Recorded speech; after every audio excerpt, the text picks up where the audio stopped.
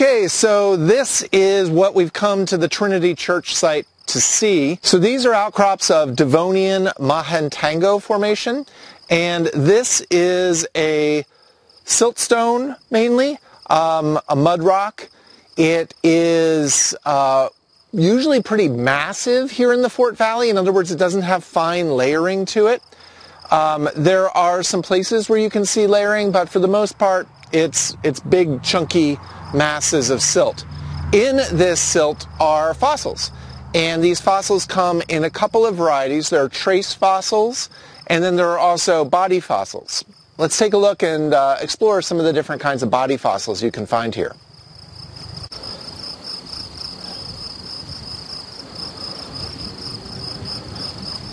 A great place to start looking for fossils is just in the debris that has dropped down from the base of the outcrops.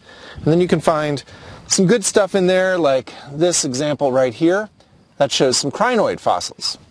So crinoid fossils, when you find them in the Mahantango, they look like little lifesavers or um, rings, Cheerios maybe.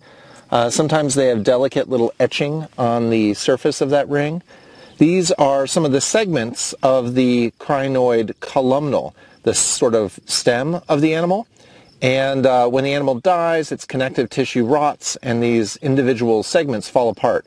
Uh, they kind of remind me of vertebrae in a backbone, um, how the spine could come apart into all these little pieces, but you can stick those pieces back together and you get a sense of this linear form overall.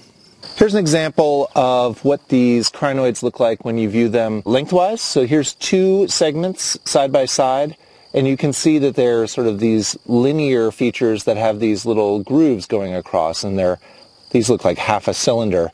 So this is like a roll of lifesavers. So you're seeing some of that material that was preserved connected to its neighbors and a bunch of these little columnal segments all lined up together. Uh, so that's an example of what these things look like in a more complete state, although still not as complete as the whole animal skeleton. Here's some more of these crinoid columnals in outcrop, and uh, I'll try and demonstrate here that they are still calcite. So you can see them fizzing if you put a little acid on them. But you'll note that the, the matrix doesn't fizz.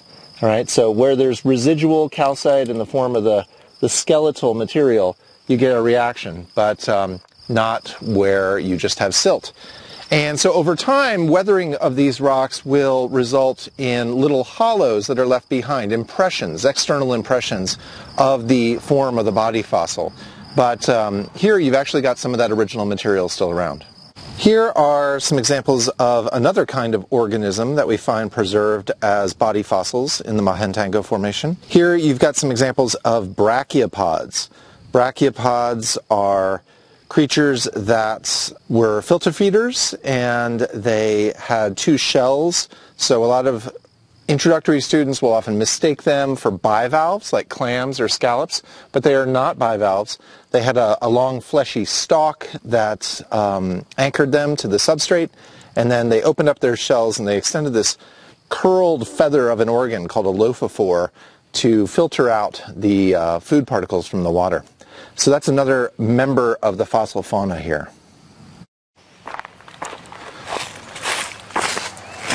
This is the outcrop uh, just across the street from Trinity Church. And it's more of the same, um, but there's sort of a taller exposure here. And I've found that this site is pretty good for finding trace fossils called zoophycos, uh, which are feeding traces where some organism went through the mud and um, basically processed it for food particles. Let's see if we can find one.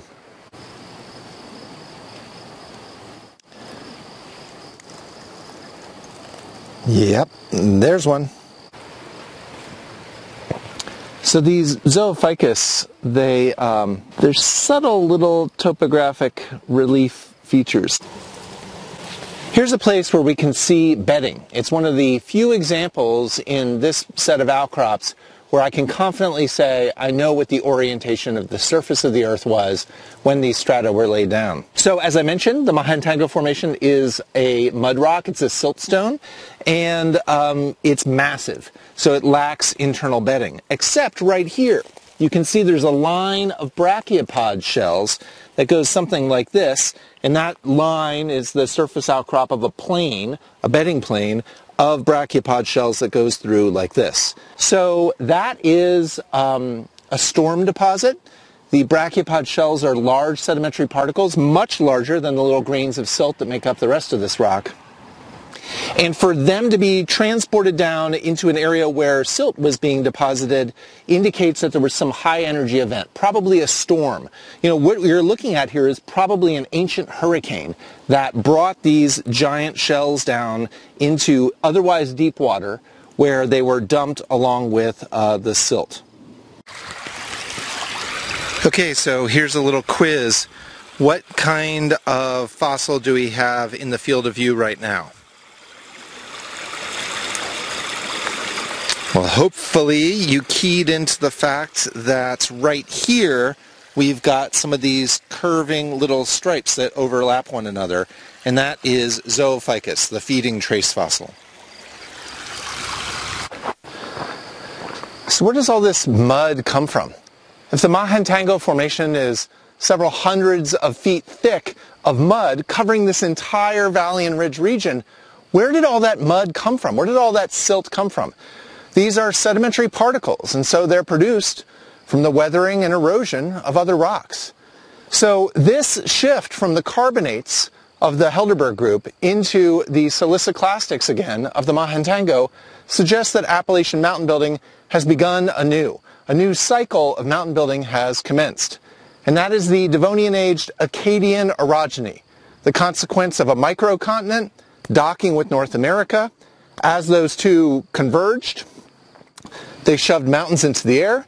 Those mountains eroded, sediment was generated, and it came downhill and was deposited in a marine basin here. So the Mahantango Formation is kind of like the equivalent of the Martinsburg Formation that we saw earlier in the trip.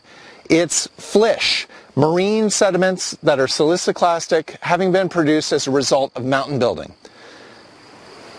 To recap the trip so far, we have an initial carbonate package that represents passive margin conditions. Then that's overlain by siliciclastic sediment produced by the Taconian orogeny.